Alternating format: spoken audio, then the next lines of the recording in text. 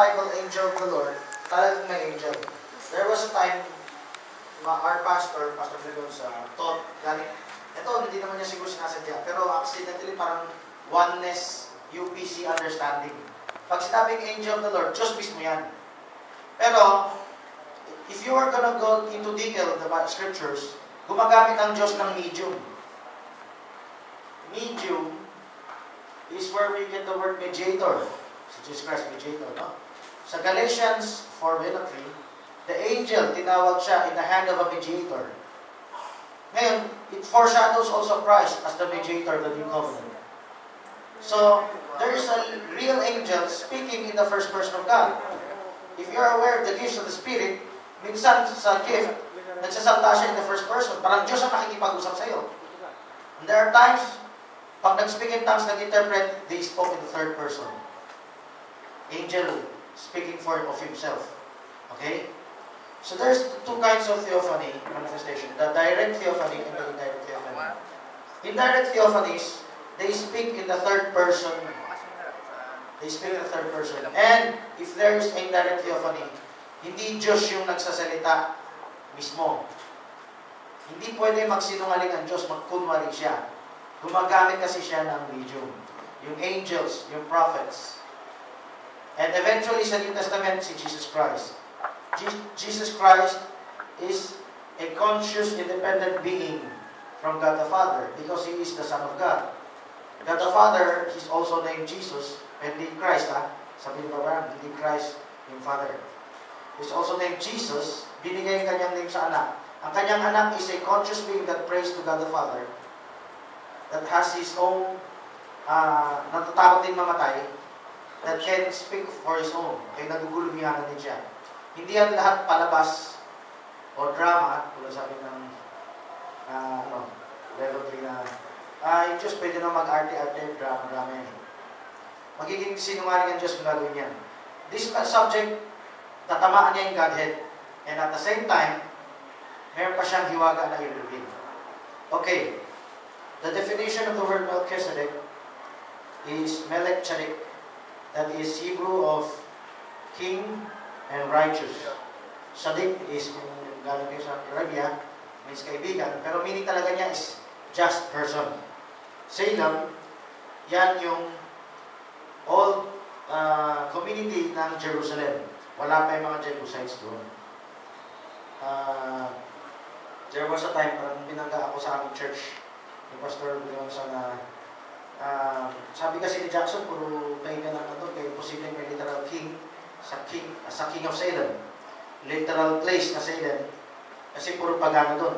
Eh, all due respect to Bar Jackson, gusto ko i-correct. Wala pang Jebusites sa time ni Abraham when he met Melchizedek there. Ang Jebusites isang pamilya lang yan. Wala pa yan malaking nations nung nilusog ni David later on. Thousands of years later. Or hundreds of years later. Okay, let's go to the gist of the topic. Um, wait, I will go first to the quote. After the quote, pupuntahan ko yung mga nakasulat dito. Baka mamusuras ko pag diretsa ulit. Let's talk about the quote. May sinabi si Barbanam sa book niya, Melchizedek is not Jesus Christ because Melchizedek has no beginning and no end. Si Jesus Christ has beginning. Of course, eventually, paliwanag ni Barbanam, ito yung Diyos, God the Father. Gusto lang iniiwalay, parang tinamaan ni Barbanam yung Godhead, Jesus Christ is not God the Father. Okay, I'm gonna get another quote.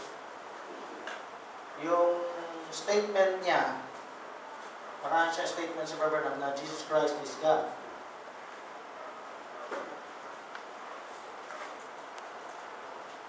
Yung, yan, pwede yan mag-zoom, no? Ito, wag na.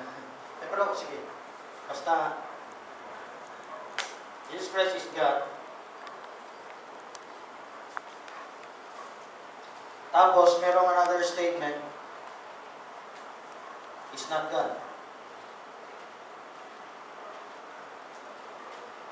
Uh, ah, natalakay na dito yung Godhead. Of course, may quotes ako. Siguro, ma-familiar rin kayo sa quotes. Ang reconciliation nito ganito.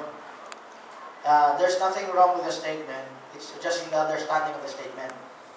When he said it's not God, he's referring to the man, the Son of God, wherein the God the Father indwelt. Okay? So, when he mentioned God, it's just a common statement. He came off from the oneness. Ngayon, ang, to reconcile these two will give you the key to open up the mystery in Melchizedek. If Jesus Christ is God, because Jesus, God indwelt in the Son, then let's go to this high priest. The high priest, pag sinabing God, you have to understand in the same vein as Jesus Christ nung tinawag siyang God.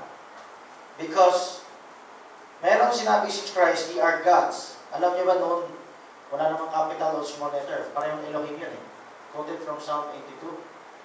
So you have to understand, sinong tinanda na salita ng Diyos, tinatawag din silang mga Diyos. At di raw pwede mabali ang kasulatan. So ito unawain nyo. When the prophet made this statement, you have to understand it in the light of the scriptures. It is an anointing to the a man, a literal man, that is a priest. An anointing that will foreshadow the coming of Jesus Christ. Okay? So, sinabi si Magsabi kay Diyos, pwede natin ipakita, hindi niya original name ito. Sabi doon sa Hebrews 7, uh, so shortcutting ko muna, ah, para ma, pakula, hindi ako kulang sa paras. Oath. Binigyan siya ng oath.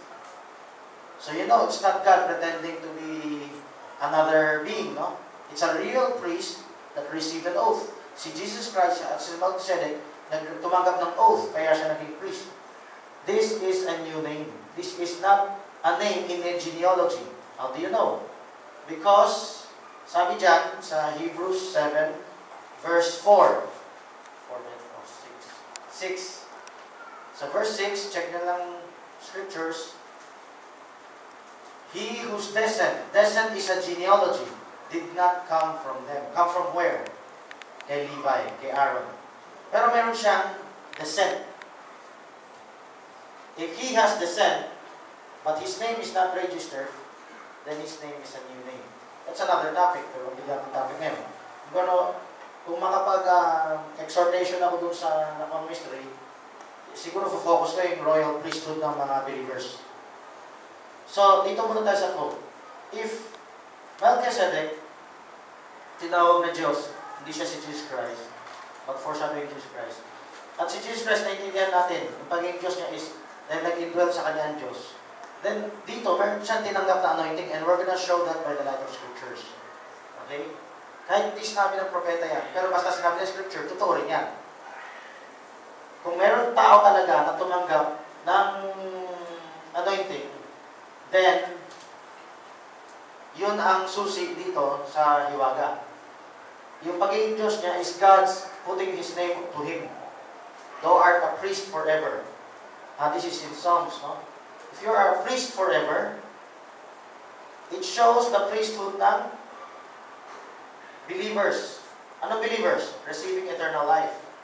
If you read Hebrews 7, merong priest na namamatay. Yan yung Aaronic priesthood. Pero, dito, raw, compared sa order of Melchizedek, compared sa order of Aaronic priesthood, yung Aaronic priesthood, maikli raw daw buhay, namamatay sila.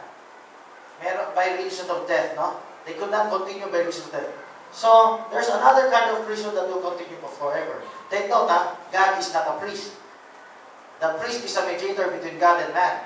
Amen. So God is going to raise up a body, uh, umpisa in one man, then a body of believers, the church, eventually, as a royal priesthood, that is, their priesthood will be forever.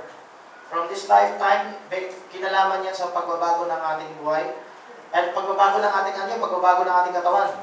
Mag, forever mag-minister sa mga citizens sa millennium at eternal age. Okay, let's go go to these scriptures now. Let's go it very fast. Ilang minuto na kinain ko? Ten. Ten? Okay. Tignan natin natin yung Xerox. No? So, contrast from traditional understanding. God's manifestation can be empowerment, individual, of an individual, it can be used for as a prefigurement of Christ. Hindi kinakailangan ang Diyos magkunwaring tao, mag, mag, magpuri siya sa Diyos, para lang sabihin na mag-foreshadow siya kay Christ. God, when He manifests directly, man, direct that is also a foreshadowing of Christ, the deity of Christ, which is the Father in Him. But when God uh, manifests an indirect theophany, hindi siya directly, kundi nag-anoint siya ng tao, no? na mag-mediate, then that is also a prefigurement of Christ. Pareho yun, but it's, pre- it's prefiguring the humanity of Christ. Yung kanyang pagkasaserdote, kanyang pagkatao, yung namatay sa cross, dalamog ka. Type and shadows. Punta tayo. The type will never be greater than the antitype.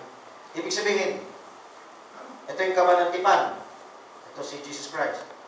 Yung kabanantipan, hindi pwede higit kay Jesus Christ. Yung templo, hindi pwede higit kay Jesus Christ. If there is a type, it will never be greater than the antitype. If Melchizedek is God the Father, he will be greater than Jesus Christ. Right. It is not God the Father directly. It is God the Father anointing a man to foreshadow Jesus Christ. So, at least equal. Angelic theophanies, for- foreshadowing Christ. It's speak, speaking the first person. Then, speaking the first person, it foreshadowed the deity of Jesus Christ. Mas lesser pa rin tong angelic theophanies or prophet theophanies. Bakit? Sandali lang sila eh. Permanent kay Jesus Christ. Mas mahaba yung greater pa rin ang antitype kaysa type. Let's go to next. Melchizedek priesthood. The anointing of without father, without mother, without descent, uh, without beginning days nor end of life, can be given to an Old Testament person temporarily and Jesus Christ permanently. Ibig sabihin, if there is an anointing of Melchizedek, yung without father, without mother, this is actually the promise to a believer. It's the promise of eternal life. If you can go, siguro sa verse 8, no, sa Hebrews 7, the power of an endless life, I don't know if it's 16 or 18, pakicheck na lang. Is not under the carnal commandment, but the power of an endless life. What is this power? This power for you to live forever, to receive eternal life. So, when it said without father, without mother, you did not become sons of God because you were born of your father and mother. You became sons of God because you were directly adopted into His kingdom by His Son. Jesus Christ, direct siya mula sa Father. Si Adam direct siya mula sa Father. But Jesus Christ is the begotten Son. Siya lang ang pinanganak ng Son of God. Si Adam, hindi siya pinanganak ng babae. Pinanganak siya mula sa lupa. So, si Jesus Christ, the only begotten Son of God, direct from God. But who are we? We came from Adam. We are not direct. But to be born again into His kingdom. That's why without father and mother. If you understand this wording ni Paul, there is a literal priest, a literal man that outlived his descendant. This man is, may, is the ancestor of Abraham. Pero he outlived Abraham in the genealogy. Where tayo tayo pakita yan. Eh, ito ay gagamitin ng Diyos para, ay bakit nasulat pala yung genealogy dun sa Old Testament? Para mabilang yung edad niya. Lampas kay Abraham para ipakita yung type kay Jesus Christ. Sa history, sa history na kung saan siya ay uh, nag-ministry o nag-intercession. Yan yung time ng independent history of Israel. Yung kung saan yung mga mga priesthood ni Aaron, yung priesthood ng Levites, nag, kailangan nila ng genealogy para sabihin, ikaw ay kasunod na priesthood. Okay. Masyadong maikli.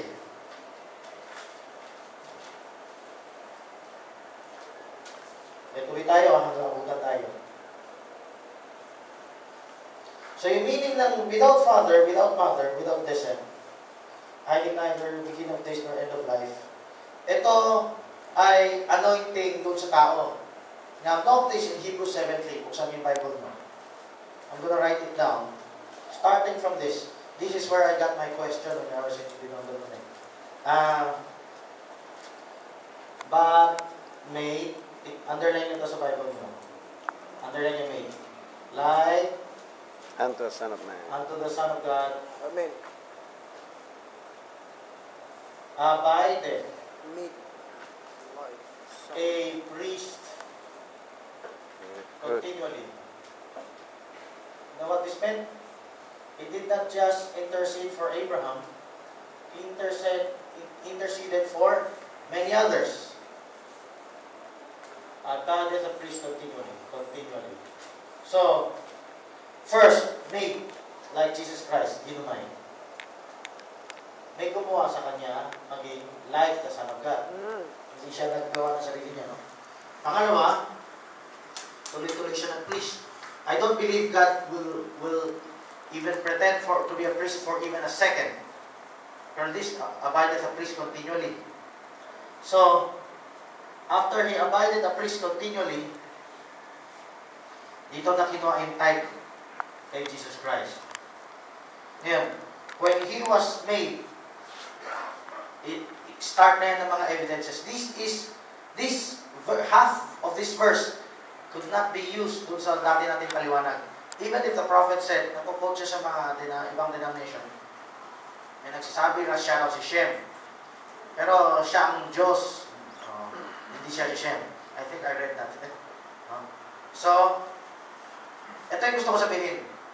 It doesn't mean, eh, sinabi ng prophet yan, eh, yan ay directly spoken by God to him. Agree naman dito last time na ang, ang, ang ating propeta pwede rin magkamali. Meron din siyang human understanding. Pag sinabi niya, I think, sa pansarili niya yun. Okay? May nagsasabi, ganyan. So, balik tayo dito sa gusto ko ipakita. If you continue reading Hebrews chapter 7, you're not gonna find any other evidence to show He is God. Directly God, ah, a direct theophany. But instead, you're gonna find that He's a man interceding between God and man. Okay? Sa verse 4, tignan nyo Hebrews 7.4, how great this man was. Do you think Paul was beating around the bush? No. Si Paul, direkta siya magsabi, kung Diyos yan, Diyos yan. Hebrews chapter 6, tignan nyo, ma-underline nyo, verse 13. God made promise to Abraham. When Genesis 18, na-meet ni Abraham yung theophany, direct theophany, God made promise to Abraham. Pero, pag Diyos, talaga sabi ni Pablo, Diyos. Pero pag sinabi ni Pablo tao, o huwag tayo magmarunong pa na, oh, ah, nag- ano, mas marunong tayo, ibig na niya sabihin Diyos yun. Huwag na natin dagdagan. Punta tayo sa Genesis chapter 14. 18. 14. Sa 14. Genesis 14. Dahil so na pakita yung mga evidence ng Mateo. Sa verse 19, pinuri niya yung Diyos. Sino yung pagpupuri sa Diyos? Diyos din mismo. Ang magpupuri sa Diyos, sacerdote ng Diyos. Sino yung tumanggap ng ikapo? Gagastusin ba niya yan o iiwan na lang niya matunaw manakawan? O ira-rapture niya yung ikapo? Yung ikapo na yan, gagamitin talaga yan kasi may tao. Ito, dagdag proof ha. Kung meron na sa buong vicinity ng Middle East, tumatanggap ng ikapo, at siya yun, siya may reputation yun, at yung buhay niya, lumalampas sa mga ibang kaedaran niya. Pag may time tayo, i-compute yung genealogy. So, sabi ni Jacob, sabi ni Jacob, mag-iikapo raw siya. I'm gonna tell you something about Jacob. Kinompute ko ang isang ancestor ni Abraham. Yung edad niya, no? Nilampasan niya si Abraham. At na-compute ko, his death will be 40 years old na si Jacob. Kung 40 years old na si Jacob bago mamatay itong ancestor na to, high priest, ibig sabihin, meron siyang reputation all over the place. Kaya nangako si Jacob mag-ikapo. Kanino mag-ikapo si Jacob? Mm. Sa tatay niya? Kay Laban? Wala. Ang pag-iikapuan niya, merong reputation nun sa Middle East na isang sacerdote na mahabang buhay na nakakapag-intercede. One minute, one minute. Um, la- pag-aralan niyo lang to, meron akong dadagdag na lang ah, benefit sa atin. Yung royal priesthood na. Isa yon. Pero marami pa iba. Yung new name. Okay? Yung sa Godhead.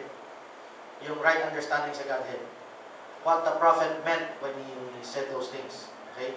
I'm not saying this is what everything the prophet is thinking. I'm saying when he gave those statements, it could lead to something that opens up a deeper understanding. And you, I, we will receive the benefits of this priesthood. Okay. Tayo ba? Kailangan ko, kay, ah, kung ano mga ano, sa sharing na lang. Okay, uh, thank you, Brother Francis. So, ngayon po ay nag-interview po tayo.